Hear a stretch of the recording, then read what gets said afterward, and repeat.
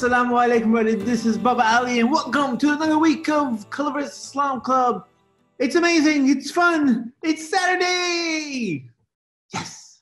I thought, don't you like Saturday? Saturday's like the best day because right after Friday, right before Sunday, and we could have Colors of Islam Club, which means we get to be together. So, uh, as you guys know, last week we had like an amazing show. Like, we asked, well, actually, we didn't ask, you guys asked questions, questions that matter because the questions were important to you. And when they're important to you, that means they're important to me.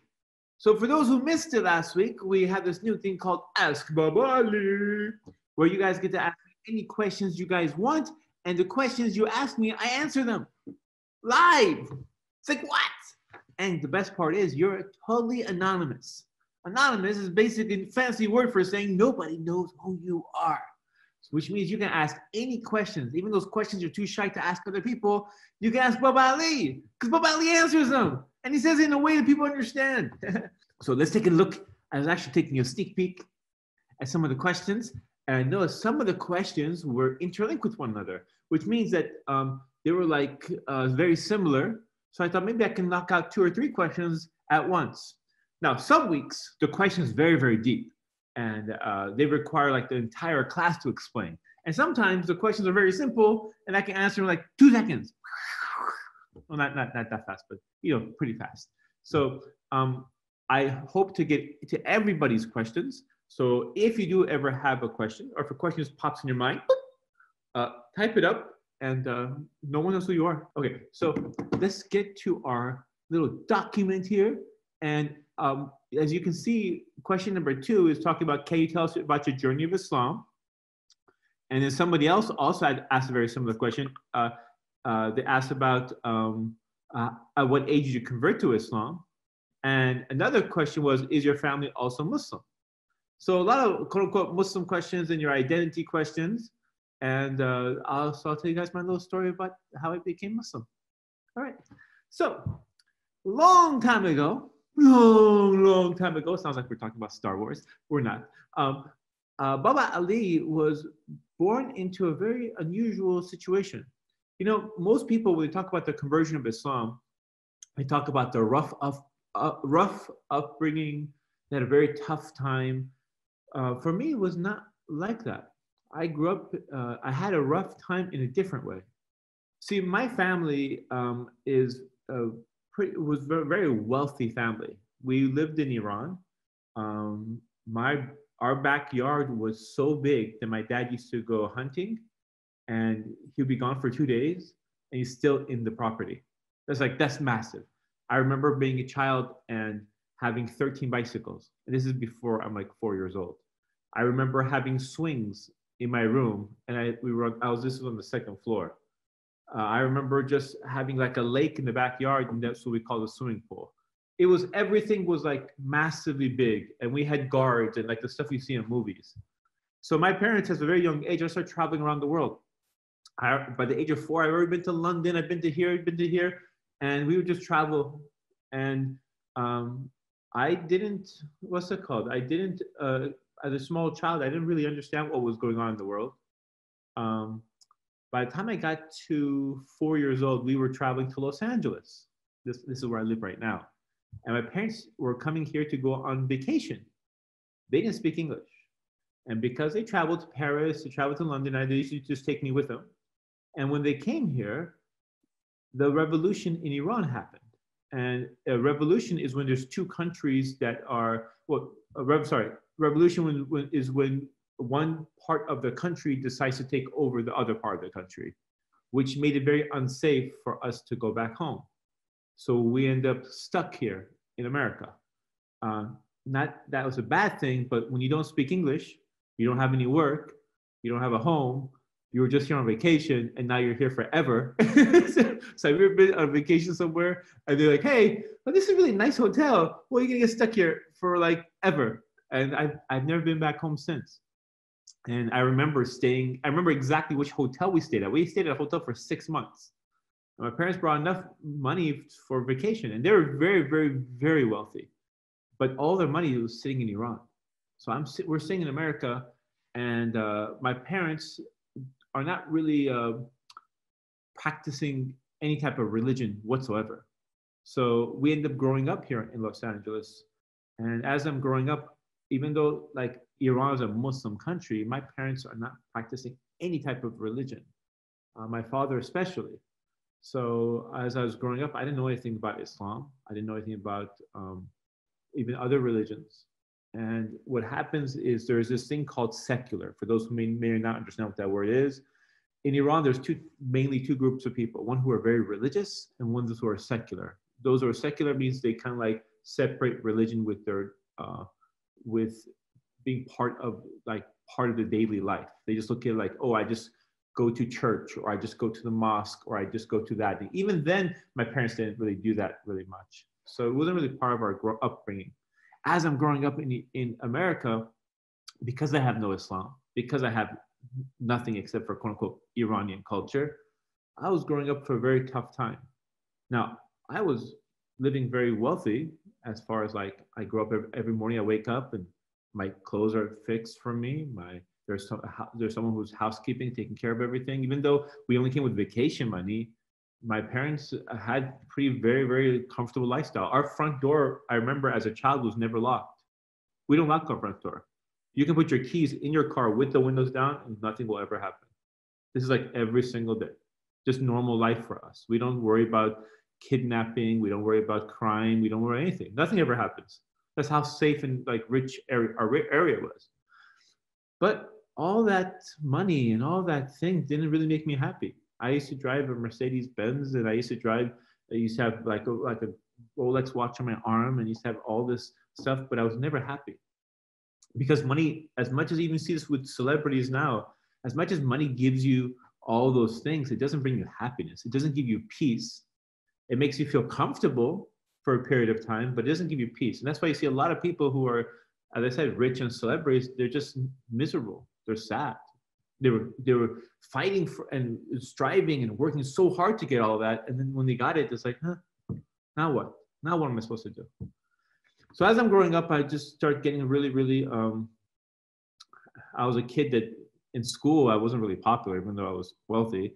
Um, I didn't care about the wealth, so I don't really show it off, except for the car I drive and stuff like that. But it doesn't really. Uh, I found. I told myself, I, I wonder what the purpose of life is.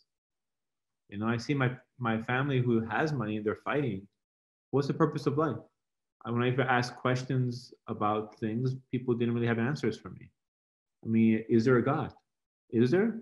If there is, then why can't I see him or her? And if there's this religion says there's a hundred gods, like the Hindus or the Greeks, and you talk to the other people, say, oh, there's a God, but he has a kid, and his kid died. Like, really? What kind of God is that? How can you not protect your own son? Okay. What about you? Oh, we believe there's a God. There's this little statue, and we worship it. Okay. How much is a statue? Twenty dollars. what kind of God is that? who, who makes your God? If your God came and make itself, what kind of God is that? Okay, forget that. So I'm growing up like everybody else. I have no path in life, right? So guess what I start doing? I start worshiping rocks. Now you're thinking to yourself, what? Yeah, I start believing like the superstitious stuff that people believe. Like, you know, oh, like just like people say, oh, don't uh, have like a lucky rabbit's foot or a four leaf clover or whatever. These are all like superstitious mumbo jumbo. I used to have my own rocks because I'm like, okay, I need to find out something to worship because all of us have an instinct to worshiping something, right? You're thinking for something that you're looking to help you. Because no one told me about Islam, no one taught me about anything, I just started worshiping these rocks. And when, guess what happened when my parents saw these rocks around my neck? They said, okay, that's fine. You can worship whatever you want to worship as long as you get good grades. So that was like when I was growing up. When I was seeing my family were secular, they had zero care what I practiced religion, what kind of religion I practiced. So as I'm going, I remember at night I would stay up and I was asking, oh, if there's a God out there, please, please lead me the right way.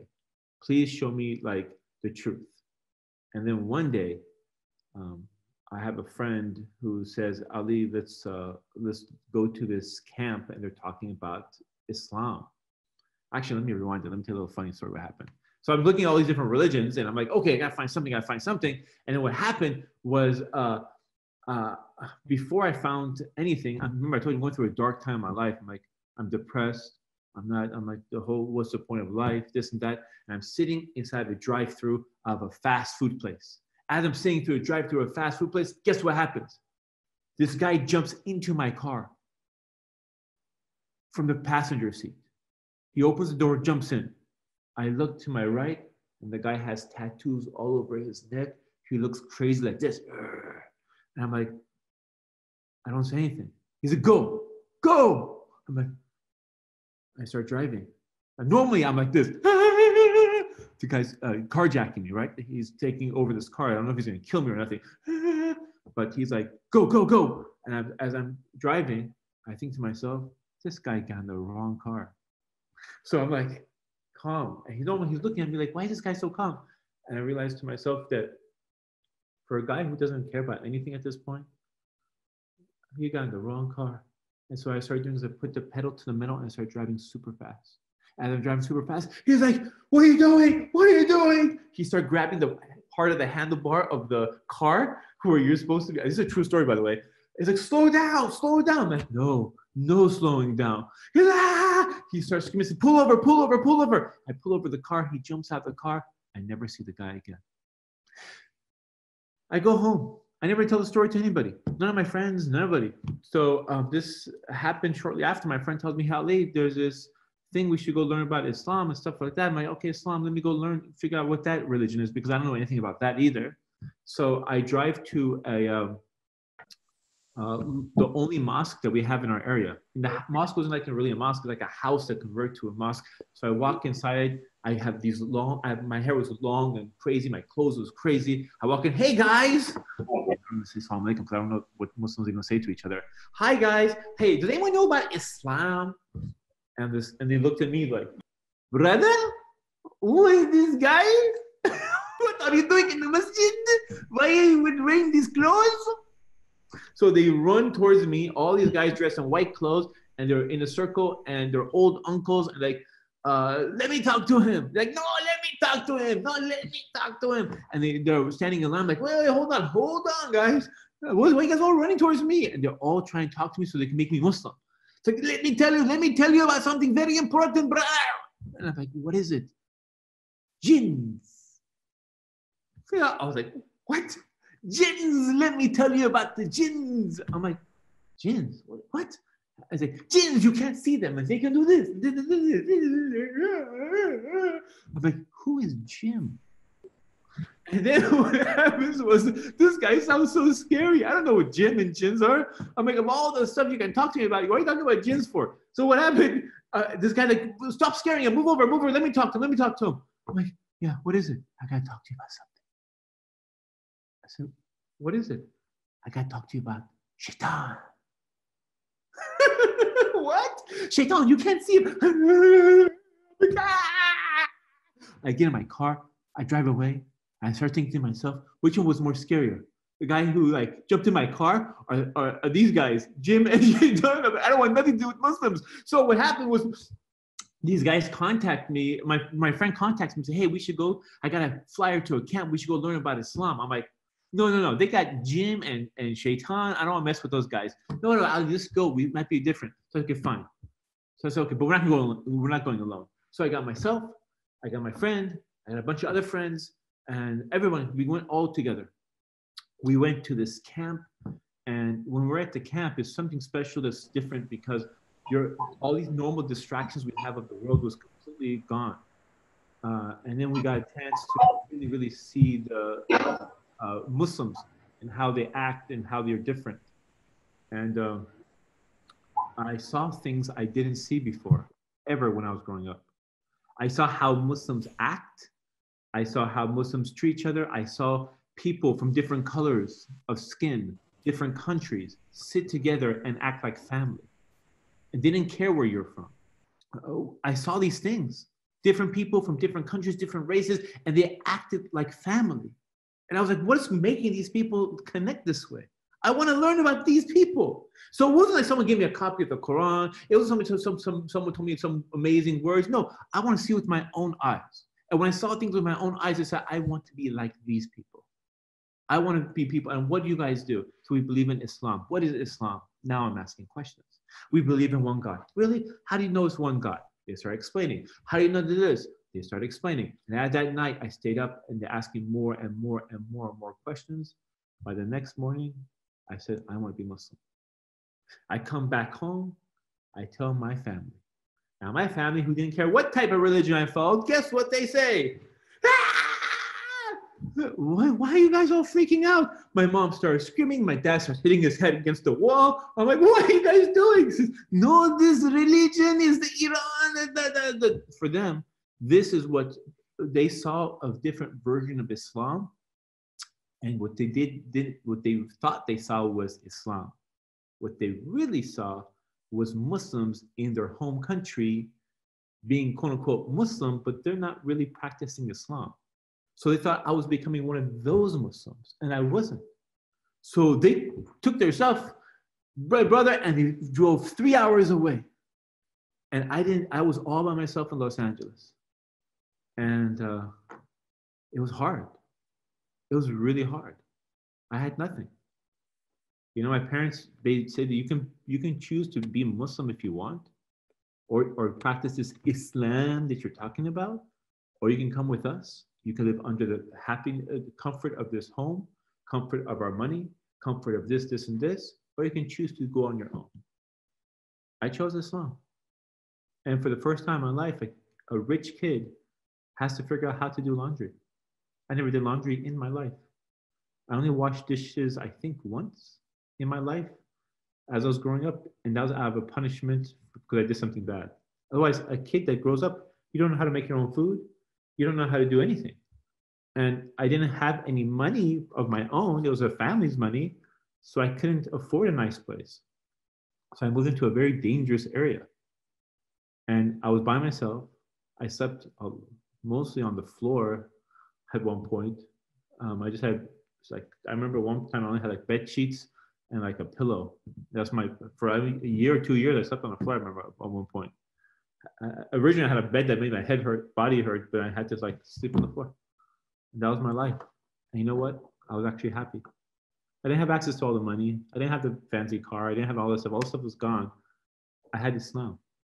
See, what Islam gives you is this peace in your heart that no matter how much stuff, material stuff you have, you can't fill it in. And when you have that, you are content. There's a lot of people who are not content. Content means like being happy with what Allah has given you. And I was happy. And this was a test. Allah took everything away, including my friends. A lot of my friends didn't want to be, almost all my friends, not all, all of my friends didn't want anything to do with me because now you're not fun anymore. You want to do all the haram stuff and bad stuff we used to do before Islam. Now you have rules that you follow, except for the few that became Muslim the same time I did. And those people who came to the camp as I did. And they're friends till today with me. So they saw what I saw. They saw the beauty of Islam because we found a few Muslims who are happy to practice Islam in the correct way. Unfortunately, you don't see Muslims practicing Islam in the correct way today.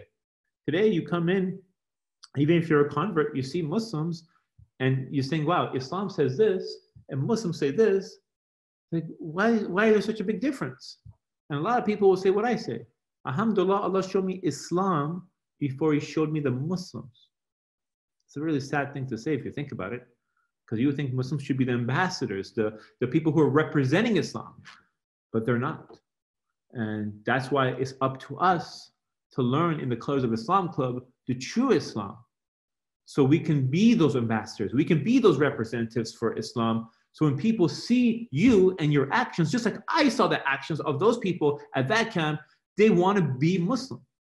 It doesn't take a fancy words that you have to say or you have to give them a copy of something. No, just by seeing your actions, they're saying, wow, I want to be like you. What do you believe in? What do you learn? What it makes you, because something about you makes you act the way you do, the way you deal in business, the way you deal in actions and stuff like that. So that is my short version of my, you know, it sounds like short version, but there's actually a lot of stuff going on, but maybe I can extend more answers for you guys. But I just answered question number two. And as I said, some episodes take almost uh, some questions taking almost an entire episode. We're like 22 minutes. And Baba Ali's talking about just his part of Islam, and he didn't even tell us all the details.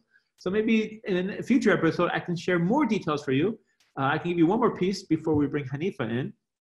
Um, one thing is that my parents, for three years, they want nothing to really do with Islam or Muslims or this and that because of what they saw the opposite of what I saw Muslims who didn't act very Muslim.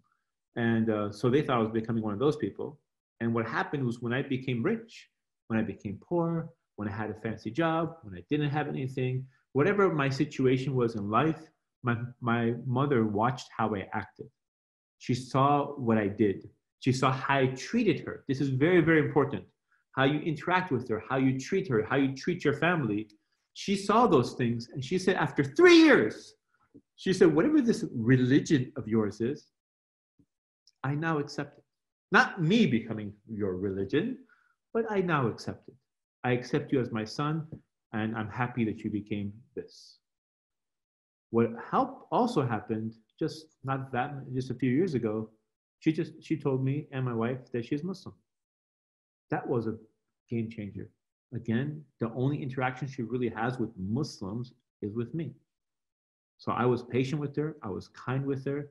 I wasn't like trying to, well, you have to this, you have to this. No, just being you and being kind and being like the way Islam has taught us to do with kind friendship and listening to your parents, it will change everything for them, inshallah. So um, I know you guys, some of you have been ask, asking me questions, and I apologize for not answering them. Normally, I'm answering them in chat, but I've been looking at you guys the whole time, and I haven't been reading the chat. So as soon as I'm done, and Auntie Hiba's in the section, I will try to read them and maybe um, answer them next week. I don't want to answer during Auntie Hiba's section. Uh, but I will do want to do some type of arts and crafts today because we don't be all like deep conversation. So I know you guys know there's my daughter. There's one called Amina. Do you guys remember the other name of the other girl? If you guys can help me remember, I have a daughter. It's kind of embarrassing when you don't remember. Do they remember her name? Hanifa, yes, no remembers. Yes, Amina, yes, yes, yes, yes. They remember, they remember. Oh, Hanifa, can you bring some arts and crafts for today? Oh, that's who it is. It's her. Arts and crafts provided. Uh, yes, yes. Okay, Hanifa, what do you have for us for today? Today we'll be making these corner bookmarks that you can draw on. If you go into almost any page of any book inside our house, almost any page, you can see a very faint line. That's because me and my sister, we fold the corner of the book to hold our spots whenever we go take a break or go to sleep or do anything like that. And I'm trying to get rid of those lines, but they do not go away. It looks like that. They're there. You have a book, a bunch of letters like this. That's almost any book inside this okay. So these book covers, you can just open up any page whenever you're stopping, Uh-huh. and then you can just put this one in. Oh, cool, cool, cool. close the book so you can remember. How cool is that? And then you open it up. Oh, dude, this is so cool. Much better than a boring thing that just turns on like this. And they all look like this. okay, so tell us how to make one. Okay, so all you need is just some paper and maybe scissors. You can try doing his um, wet, like you can wet the corner of the paper and try ripping it tactic, or you can just use scissors. This time I remembered, so we don't have to do that again. Once you get your paper, you just need to make it into a square, which is what you do with most origami paper. You're gonna fold it like so, wow. a little bit, and then you want to try making it as straight as possible. It's okay if it's not perfect. I don't think it's ever worked out for me this well. So just have to straighten it out, and then you're gonna get this part. Actually, wait, now let's make more sense. You see this little extra rectangle? You want to then chop it all off. It's hard to cut this way, but I'm gonna try. Uh, so close, and then. Okay, so once you get this part, a good square, you're gonna cut it, you're gonna fold it like this so you have this main triangle. Okay. so exciting. then you're gonna fold the top, like the big pointy part down, right in the middle. Trying to make it straight. It's okay if it doesn't work out. It just needs to be straight enough. Okay. And then you see how you have, if you look closely, you have three triangles. One right here, another one, and two to the side. So you're just gonna get this other one. You know what's better than two triangles? Three. That's right. Five triangles. You're gonna fold it down. It's Uh-huh. hard to do it this way, but we're gonna try. And then we're gonna go this part. It almost looks like a letter, hmm It looks like a good envelope. like an envelope. Yeah. Is that right? Yep, you did it. Thank you. Okay, so then you're gonna open up the top part. Actually, no, you're gonna open up one layer. So you see how you have two pieces? You're gonna open up just one piece. Okay. Then you're gonna get this, this one this one triangle and you're gonna fold it up so these two corners they match. Wow. And you're gonna do that with the opposite side as well. Where do you come up with this stuff? After seeing all the creases in almost any book inside this house, like a, solution must be made. Wow, wow, wow, wow. I want to do it. I want to do it. You ever watch the video? Like, let me do it. That's me. Okay, so now we're almost done. You're gonna get this part. This part's a little tricky. You're gonna get this part, and inside you, you made a little patch. So you're gonna get this part and just gonna fold it in. Like a kangaroo pouch? Yep, just like a kangaroo. And then you're done. You can draw anything you want on the front. This is just the, the corner slot so the paper can go inside the book. It fits with almost any book inside your house. If it's a little smaller, then maybe you can try making a smaller square and doing the exact same thing. And you can draw anything. You can make a smiley face. So cool. And look, you got outside of your book cover. hmm It matches. Hey, your your dress and your pants match the book. they do. I Yeah, didn't realize that. I, I did because I won a prize. Okay, you got a high five then. Told you. Okay, that's all. okay, guys. Thank you, Hanifa. Thank you. See, Hanifa always comes with this creative stuff. She's like the most creative, one of the most creative people in this whole house. And she's one of my two favorite daughters in the whole wide world. Baba Ali, how many daughters you have? Two! Okay, Bob, that doesn't count. Anyways, today we shared our um, story about how I converted to Islam. I hopefully answers some of your questions. Is my family Muslim? My brother is now Muslim. My mom is now Muslim. My dad has passed away, and uh, and that's all I have. I only have one sibling, and uh, and then what I told myself when I became Muslim is I'm going to try to teach my kids all the things about Islam I never grew grew up learning about, and that's how I've been trying to raise Amina and Hanifa. So I hope that answered your guys' questions today. As you guys, as I promised, I try to answer you guys' questions every week. And no matter what type of question you ask, I try to answer it. As long as it's not like 250 questions like, hey, is this haram or halal? I don't know. I'm not expert at some things. If I don't know, I say I don't know. But I want to say thank you, everybody. If you have any more questions, the link is at the very top. I may post it for you guys one more time. Uh, and if you have questions, make sure to post them.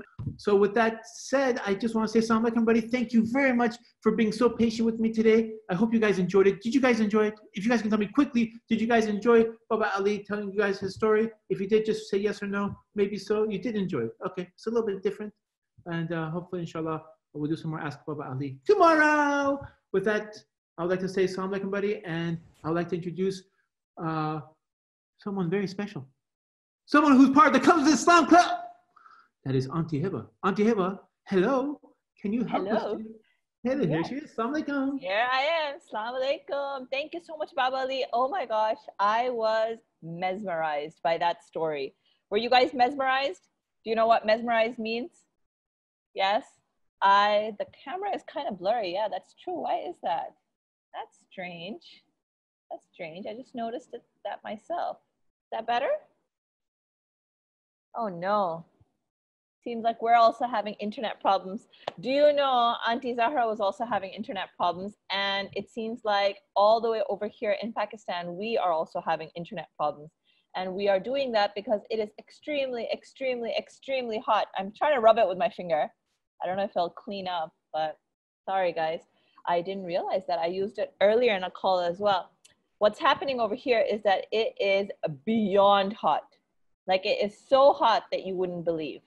And so because of that, we are having a lot of fluctuations in terms of electricity. You know, Pakistan is a little bit of a poor country, right? We don't have a lot of money here. And so when a lot of people start using their air conditioners or their fans or whatever, then yeah, the whole country has less electricity to go around. So we get a lot of fluctuations and the electricity goes a lot and stuff. But anyways, I am happy to be here. I am so sorry that my camera is blurry, but my mind is crystal clear after listening to Baba Ali's amazing story. I love hearing people's stories because it shows all the ways that we are different. And if you guys remember, a couple of weeks ago, we talked about how your identity and your story, owning your story is so important because we want to know how all of us are different, right? And why is that? Remember, I ask you a lot of questions, so I always like seeing your typing fingers. So take out your typing fingers and tell me why is being different important? Like knowing that we're different. Why should we know we're different? Yeah, yeah, yeah, you're unique. Definitely. We're unique. All of us are in in a way unique as well. And so today I want to talk to you about knowing the things that make us special, the things that Allah has blessed us with, and using them in a way. Yeah, Samiha Sabiha, everyone was the same would be boring. That's definitely true. And so when I was listening to Baba Ali, I came to a conclusion that there's an ayah in the Quran that just it comes to mind all the time. Do you know an ayah? Let me ask you guys. There's an ayah in the Quran. It is the most repeated ayah in the whole Quran. It comes a lot of times. Can anyone think of an ayah that comes many, many times in the Quran? Good memory, no, amazing. You think you have a very good memory. That makes memorization easy for you. Hanan and Amira say, I'm blessed to eat, which means you guys have more food. So you never have to worry about, oh my gosh, is there enough food in our fridge? Is there enough food in our fridge? Air conditioner, yeah. So you're not like, you know what, I can't do anything, I can't work, I can't study because we are too hot. We're in, under the blazing sun, right? You have a good home, Shamila, very good. Caring parents, yeah. You're never afraid that, you know what, I might come home today and my parents might hurt me or something. No, you have caring parents, right? So that helps you feel secure and comfortable. So all of the blessings in our life is something, yeah, Heather is saying that our dad is still able to provide for us. We have access to medicine, electricity. Excellent. You guys are all talking about something called privileges. Has anyone heard that word? Do you guys know what a privilege is? What is a privilege?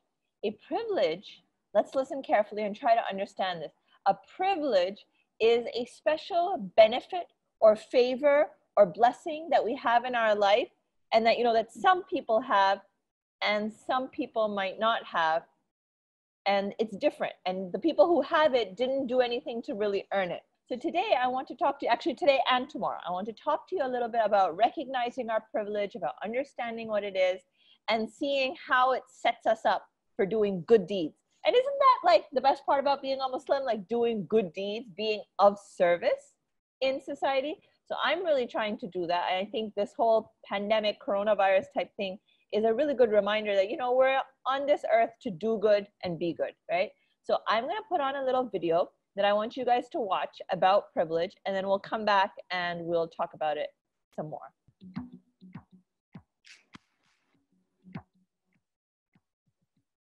Assalamu alaikum everyone. Today's video is brought to you by the letter P. P is for penguins. P is for pizza. P is for penguins with pizza. And P is for privilege. Have you heard that word?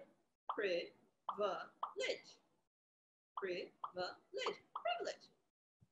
What is privilege? A privilege is a special benefit or advantage available to some people and not others. It's one way that we are different from each other. Hmm, special advantage. Sounds nice to have, right? So that must mean that privilege is also good to have, right? Well, a good thing available to some people and not other people isn't exactly right. The thing is, privileges are special advantages which we haven't necessarily earned through our hard work, but are simply lucky to have through Allah's blessings. For example, I am so blessed that I was born with two strong legs. Alhamdulillah. My legs make sure that I am able to get around easily and I can go pretty much wherever I want to go. I don't worry that is there any restaurant or shop that I might not be able to enter.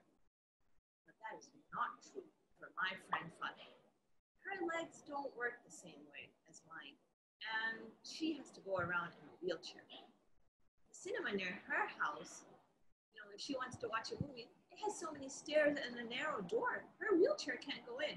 So she often misses movies that she really might have wanted to see. And that happens a lot sometimes, you know, because she often doesn't go to places because people haven't really thought about putting ramps up on those entrances, uh, on the entrances. So my able body gives me the privilege of doing many things that she cannot. Another way I have privilege is that I can speak both English and Urdu, and I can read and write in both languages because I went to school and my parents also went to school. I also never have to worry, will there be enough food in my house for my family to eat? Again, alhamdulillah. But what about those kids or those families who can't go to school? If they don't get to go to school, they don't learn how to read and write. If they don't learn how to read and write, it's harder for them to get and do jobs that they would like. And it makes it harder for them to access information which could teach them new things. Sort of like what you're doing with this video. For example, think about Ahmed. Ahmed's dad is a gardener. He does important things like keeping our parks and gardens beautiful and healthy. Now, Ahmed works with his dad to help him earn money for the family so that they can keep their home and have enough food to eat. Ahmed dreams of being a teacher. He would love to be a teacher. But because he works so hard, he has to worry about whether will be enough food or not.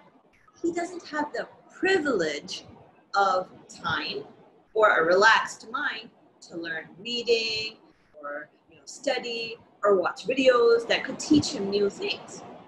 We can also have privilege because of where we were born, what kind of jobs our parents have, even the way we look. Sometimes there's privilege for being a boy instead of a girl, or of belonging to a religion that most of the people in the country have. Now, the tricky thing about privilege is that it only means that some types of people get to enjoy things that everyone should get to enjoy. It means the world can be sometimes unfair to see, you know, to people simply because of who they are. Does that mean privilege is bad? Should I feel bad about my privileges? The blessings that Allah has given me? Can privilege actually be a good thing? For that, let us first turn to Allah and see what He has said about blessings and privilege, about all the special favors in our lives. When I think about favors, I think very awesome ayah. It is the ayah that has been repeated the most in the Quran. Do you know what that ayah is? Yes, from Surah Rahman.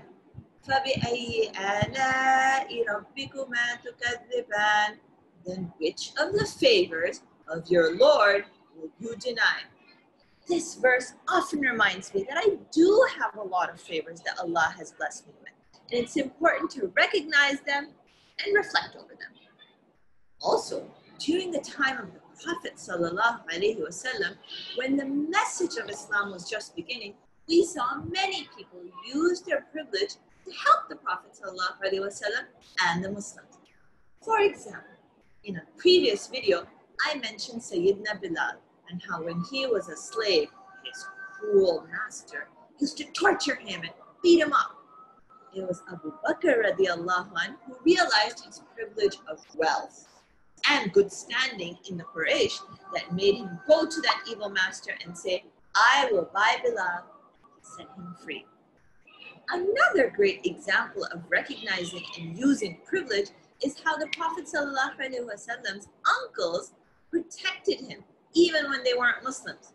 So people like Abu Talib in the early days, Hamza radiallahu anh, used their privilege of being powerful clan leaders to stop other people from bothering the Prophet To understand our privilege as best as we can, we need a little something called self-awareness. What is self-awareness? Self-awareness means knowing who we are, why we make the decisions we make, and knowing when we are right or wrong. It sort of means looking at ourselves and our thoughts and our behaviors as if we're looking at ourselves from a distance. Like if I'm practicing self-awareness right now, I'll be like, hmm, I can see Hiba making this video. She seems a little nervous and excited, but I think she wants to do a good job because this is important. Hmm, that's called self-awareness. It is good to be self-aware of our identity because it helps us to know what privileges we have and don't have, right? right? That helps us show empathy to others who are different from us. What is empathy?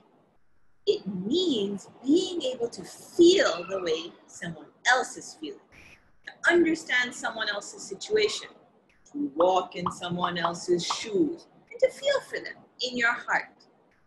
Empathy means care about other human beings too, and not just yourself. And it makes you understand that everyone's lives are different. It makes you a good human, a good friend, and a good Muslim. Do you know my favorite thing about empathy? It can lead to action. Action is when we take our self awareness, which tells us who we are and how we're privileged, and our empathy, which teaches us to notice other people's feelings and bring them together to do good. For example, do you remember my friend Fatma who needs a wheelchair to get around? Well, my self awareness told me that having strong, healthy legs is a privilege. My empathy made me feel sad and angry that my friend can't always enjoy going to the same places that I can just because of her leg situation. So we talked about what we could do to kind of, you know, make the situation a little better. We decided to write letters to places like the mall and the cinema and her favorite restaurant. We asked them, please remember to put ramps so that people in wheelchairs can also enjoy what you are offering. So we translated being a good person into doing a good thing. And that's the thing about privilege. Look, there are some things in this world that we can't change, but there's lots that we can change if people with privileges start to think critically about the special advantages they have over other people and how they can use those advantages to help people like you and me. Remember, we are not all exactly the same, and that's okay. That's sometimes good, but sometimes we need to work towards making that difference a little smaller. Our skin colors are different, our money situation is different, our health and physical ability is different, our family situation is different. Lots of things are different.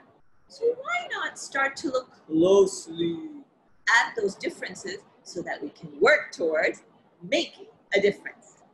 Remember, when we are aware of our privilege, we can translate our empathy into action. And that will help create equality. So, here are your three things to do. Three fingers up. Number one, think about the different privileges or blessings that you have in your life. Number two, thank Allah for giving them to you by naming them and saying Alhamdulillah. And number three, talk to a grown up for ideas on how you can use your privilege to do one small thing that will make this world a tiny bit better for everyone. Because that's the most important thing, right? Right. That's it for now. Remember, be good, do good, and who loves you? Allah loves you. Bye bye. So we learned a bunch of different terms in there. We learned about self-awareness, which we talked about, recognizing, you know, what we do, why we do it, kind of being able to see our thoughts like from a distance. Are you guys ever able to do that? Is anyone ever feel like they're practicing self-awareness that, yeah, I know I'm being a little bit silly right now. Can you ever see yourself behaving a little silly or something like that? That's called self-awareness. And we talked about empathy. Now, who can remember what is exactly empathy? Because that's what we're going to discuss more in detail tomorrow. So I want to make sure that we have a little bit of an idea where we're headed tomorrow. Yeah, yeah. The fact that autism awareness, the fact that you know that, that is definitely self-awareness. That's amazing. I think having having that awareness about yourself and advocating for that is just incredible. Yeah. No, fun. You're on the right track. Empathy is to feel for someone, and privilege is what? So, what did we learn about privilege then? Right? Empathy is putting yourself in other people's shoes. And what about privilege? Privilege was kind of recognizing something that you have. But does that mean privilege kind of means that you have an easy life? Is that what, what it means? What do you guys think? Does privilege actually mean you have an easier life than other people? You have something? Well, it's not exactly that. I see that some of you are saying maybe that is, and I've got a lot of people privately messaging me. But I do want to make that clear, guys, that just because you have a privilege doesn't mean that your life is easy, right? You you're you might be easier in one situation, but it could still mean that your life is hard in other situations. And I think that's important to see. There are many things that make our privileges intersect with each other, right? In some ways, we are lucky because of the way we look or the way we the way for example the way we speak english right all of us can speak english that puts us in a bit of a privileged situation but there's many things in life that we are not uh, privileged about and so balancing all of that and deciding how we will use our privileges is the important part so we were talking about exercising empathy right and talking about what privileges we have and what empathy we can show to others so currently in this pandemic situation, what privileges do you think you guys have right now? Alhamdulillah, none of us have gotten sick so far. Does anyone know anyone personally who's gotten the coronavirus? Yeah, you guys do. Oh, I mean, that's not true. We don't have less cases than the US. Actually, do you know Pakistan has the most cases in the world? Yeah, we are number one in a very bad and sad situation. I love what Heather wrote here. Heather says we have access to almost everything as long as we have money. Okay. We have access to healthcare and medicine. We speak English and live in an affluent area. Yeah, all the places that you guys are mentioning, like Italy and the US, they've had more deaths so far. But the situation in Pakistan is bad because we've only got a few hospitals, right? we don't have hospitals like all over the place like us does we have maybe like in karachi in the city that i am we have maybe like four hospitals and each of those hospitals has now closed their doors and they've put these big signs up outside their doors that we are not letting anyone else in now that's how bad our our healthcare situation is so you know things are things are tricky for everyone so i wanted to just uh, share the screen one more time with you so we can read a little about empathy. And uh, then we will, hopefully you guys can hear me. Okay. Let me bring this bigger. So if you look at what is written about empathy, let's just go through it together so that all of us understand this word. What is empathy? Have you ever heard the saying, try to put yourself in someone else's shoes? This means that you should try to understand their point of view. Looking at things from another person's viewpoint helps you develop empathy. Empathy means thinking about what other people are thinking and feeling. When you express empathy, you have compassion for others. You show concern for their feelings. Empathy helps you understand others' feelings under different circumstances. We all have the ability to express empathy towards others empathy is a skill that you can develop.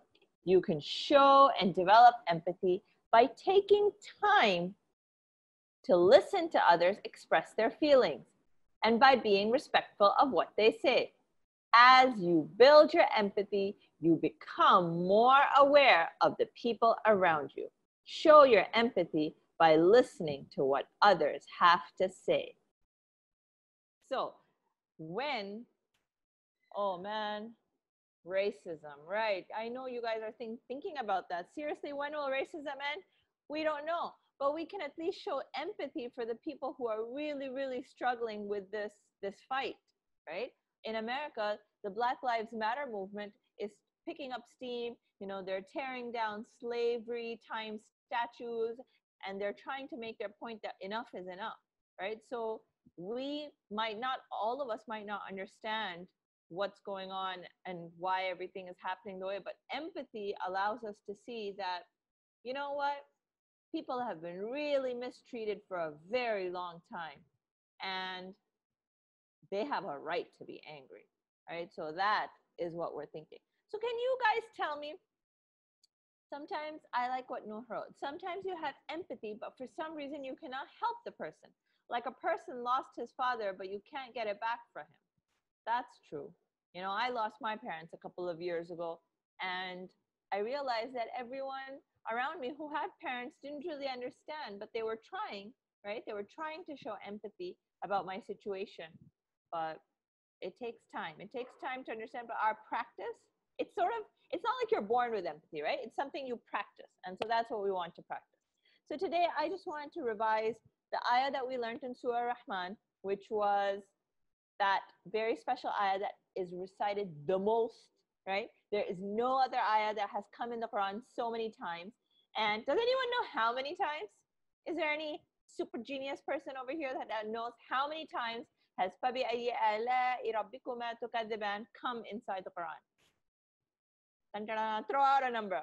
Whoever is the closest will get a round of applause. It comes 31 times. It is 31 times in the Quran. Yeah, in Surah Rahman. So it's a nice, important ayah to to learn. Thank you, Yahya. Yeah. We don't realize the blessings unless they are taken away. I think that's an important part of being a Muslim is to constantly be aware of our blessings. Let's make that part of our self-awareness. So tomorrow, we're going to talk a little bit more about empathy and we are going to make some strategies. So do have a pencil and paper with you. So maybe we'll do some note taking or write some words at the same time. I hope you guys enjoyed hearing Baba Ali's story. I thought that was very, very powerful. And, you know, like his story, his life story is so different from mine, but I was able to show empathy and sort of understand his situation, or at least I tried. So that's it for today from all of us at Cover uh, Colors of Islam Club. And inshallah, we'll all see you again tomorrow without any technical difficulties. Today was like, mics are coming, mics are going, lots of crazy things happening, but such is life. All right. So you guys take care of yourselves and inshallah, I'll see you tomorrow. Okay. Assalamu alaikum, everyone. Bye bye. Wave, wave, wave.